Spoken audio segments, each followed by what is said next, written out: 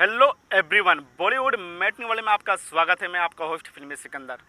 दोस्तों क्यार के अंकल का एक ट्यूट है, जिसमें उन्होंने लिखा है कि बॉलीवुड के गुंडा भाई का दुख मुझसे देखा नहीं जाता। बोले तो उन्होंने बॉलीवुड का गुंडा भाई, जी हाँ दोस्तों, और कौन नहीं, वो है हमारे बॉलीवुड के दबंग खान, सलमान खान के डायरेक्ट निशाना साध रहे दोस्तों।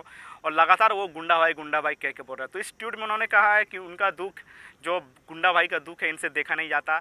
और इनका जो करियर है, वो सलमान खान की जो करियर है दोस्त, वो बोले तो क्यार के अंकल ही उनका करियर को खल्लास किया। जी हाँ दोस्तों। और वो एक क्रिटिक हैं, और उनसे बोले तो गुंडा भाई को फैट रही है। तो क्यार के अंकल को मैं पहला बात बोलना चाहता हूँ। करियर खल्लास। ये जो आप जो बोल रहे हो, क्यार के अंकल कि सलमान खान का करियर खल्लास हो चुका है। आपको कौन एंगल से लग रहा है गुंडा भाई का करियर खल्लास हो गया? अरे, गुंडा भाई तो समझ रहे हैं पब्लिक कि आप सलमान खान को बोल रहे हो। तो कौन हिसाब से आप बोल रहे हो कि सलमान खान का करियर एंड हो गया? अरे भाई, सपने देख रहे हो क्या आप? या कोई ख्वाब देख रहे हो? दोनों का मतलब तो एक ही है, लेकिन देख क्या रहे हो आप? तो दोस्तों क्यार के अंकल लगातार बोले तो निशाना साध ही रहे हैं हम सलमान खान को।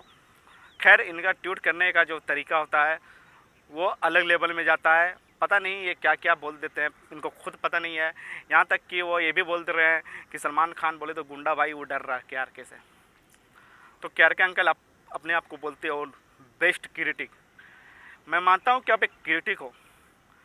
लेकिन ये जो बेस्ट क्रिटिक का नाम अपने आप में जोड़ रहे हो तो आप बताओ मेरे को कि आप बेस्ट हो कहाँ से? आप बोले तो हॉनेस्ट रिव्यू भी नहीं देते आप।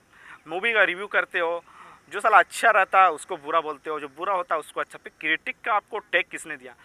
आपको जिसने भी क्रिटिक का टैग दिया ना, वो आपसे भी बड़ा महाचुतिया होगा। तब जाकर आपको बेस्ट क्रिटिक का टैग दिया गया। खैर, आप गुंडा भाई बोलो या सलमान भाई बोलो पब्लिक तो समझ रहा है कि आप सलमान खान को ही टारगेट कर रहे हो। खैर, अब आपकी मर्ज़ी, आपका जो ट्यूट है, हम लोग पढ़ते हैं, बाकी आप, हम अपने ऑडियंस को बताते हैं कि आप ऐसे ऐसे ट्यूट करते हो। तो दोस्तों, हमारी नज़र है, क्या के हर एक कदम पे, हर एक ट्यूट पे। तो बस भाई, अगर वीडियो अच्छी लगी हो तो चैनल को सब्सक्राइब करना ना भूलें। मिलते हैं नेक्स्ट वीडियो में। जय हिंद, जय महाराष्ट्र।